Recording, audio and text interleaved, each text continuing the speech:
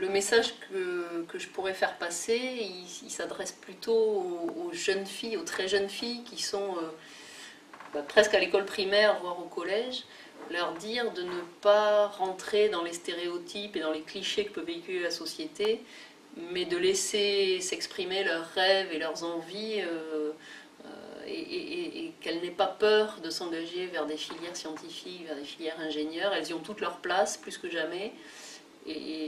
Beaucoup de sociétés du secteur, à commencer par Thales Alenia Space, euh, ont à cœur de, féminiser leur recrutement et d'embaucher euh, des profils féminins. Donc il faut, il faut oser se lancer dans ces carrières-là, qui donnent des opportunités de, carrière et de métiers vraiment enrichissants et passionnants pour, euh, pour tous les étudiants et en particulier pour les étudiantes.